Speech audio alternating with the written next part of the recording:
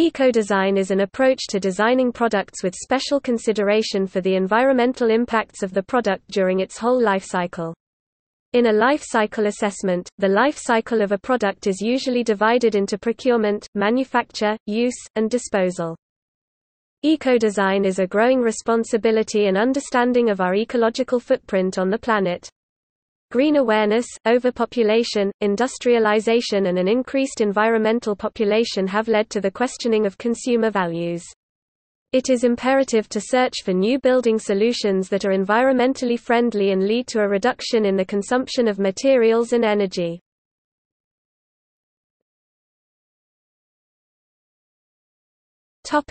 Overview As the whole product's life cycle should be regarded in an integrated perspective, representatives from advanced development, design, production, marketing, purchasing, and project management should work together on the eco-design of a further developed or new product. Together, they have the best chance to predict the holistic effects of changes of the product and their environmental impact.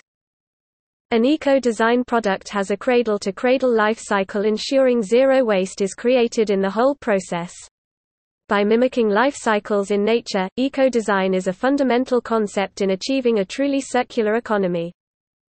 Environmental aspects which ought to be analyzed for every stage of the life cycle are consumption of resources energy, materials, water or land area emissions to air, water, and the ground our earth as being relevant for the environment and human health Miscellaneous e.g. noise and vibration waste hazardous waste and other waste defined in environmental legislation is only an intermediate step and the final emissions to the environment e.g. methane and leaching from landfills are inventoried.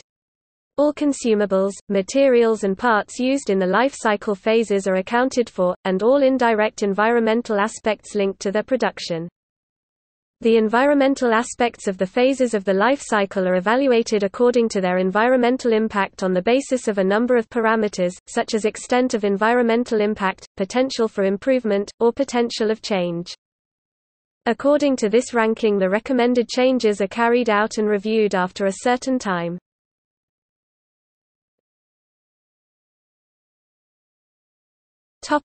Environmental effect analysis One instrument to identify the factors that are important for the reduction of the environmental impact during all life cycle stages is the Environmental Effect Analysis (EEA). For an EEA the following are taken into account. Customers' wishes. Legal requirements, market requirements competitors. Data concerning the product and the manufacturing process. Topic Applications in design Eco-design concepts currently have a great influence on many aspects of design. The impact of global warming and an increase in carbon dioxide emissions have led companies to consider a more environmentally conscious approach to their design thinking and process. In building design and construction, designers are taking on the concept of eco-design throughout the design process, from the choice of materials to the type of energy that is being consumed and the disposal of waste. With respect to these concepts, online platforms dealing in only eco-design products are emerging, with the additional sustainable purpose of eliminating all unnecessary distribution steps between the designer and the final customer. Eco-materials, such as the use of local raw materials, are less costly and reduce the environmental costs of shipping, fuel consumption, and carbon dioxide emissions generated from transportation. Certified green building materials, such as wood from sustainably managed forest plantations, with accreditations from companies such as the Forest Stewardship Council (FSC) or the Pan-European Forest Certification Council (PEFCC), can be used. Several other types of components and materials can be used in sustainable buildings. Recyclable and recycled materials are commonly used in construction, but it is important that they don't generate any waste during manufacture or after their life cycle ends. Reclaimed materials such as timber at a construction site or junkyard can be given a second life by reusing them as support beams in a new building or as furniture. Stones from an excavation can be used in a retaining wall. The reuse of these items means that less energy is consumed in making new products and a new natural aesthetic quality is achieved.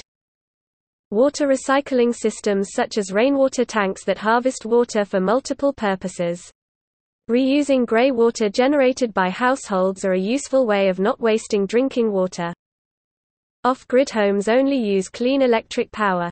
They are completely separated and disconnected from the conventional electricity grid and receive their power supply by harnessing active or passive energy systems.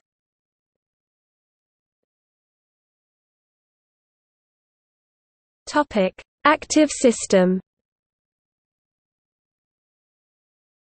These systems use the principle of harnessing the power generated from renewable and inexhaustible sources of energy, for example, solar, wind, thermal, biomass, and geothermal energy.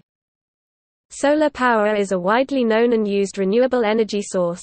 An increase in technology has allowed solar power to be used in a wide variety of applications. Two types of solar panels generate heat into electricity. Thermal solar panels reduce or eliminate the consumption of gas and diesel, and reduce carbon dioxide emissions. Photovoltaic panels convert solar radiation into an electric current which can power any appliance. This is a more complex technology and is generally more expensive to manufacture than thermal panels.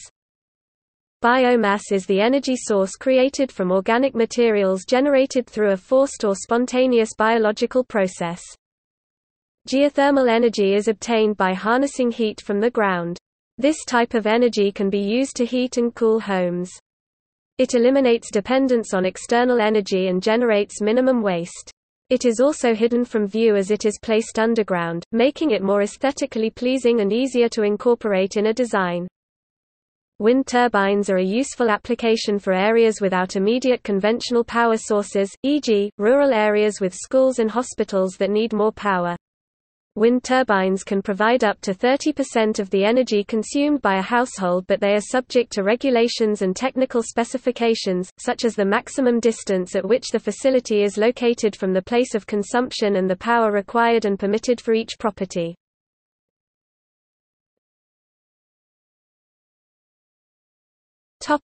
Passive systems Buildings that integrate passive energy systems bioclimatic buildings are heated using non-mechanical methods, thereby optimizing natural resources. The use of optimal daylight plays an integral role in passive energy systems. This involves the positioning and location of a building to allow and make use of sunlight throughout the whole year. By using the sun's rays, thermal mass is stored into the building materials such as concrete and can generate enough heat for a room. A green roof is a roof partially or completely covered with plants or other vegetation. This creates insulation that helps regulate the building's temperature. It also retains water, providing a water recycling system. It also provides soundproofing.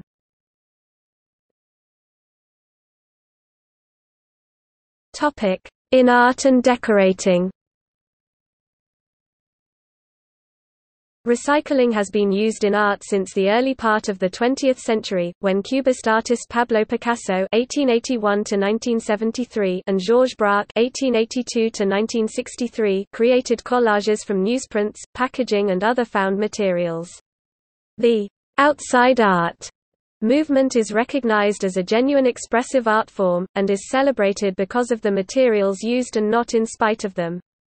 The same principle can be used inside the home, where found objects are now displayed with pride and collecting certain objects and materials to furnish a home is now admired rather than looked down upon. There is a huge demand in Western countries to decorate homes in a green style. A lot of effort is placed into recycled product design and the creation of a natural look.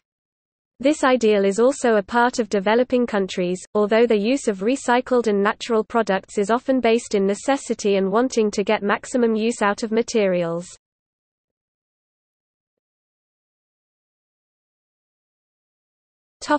See also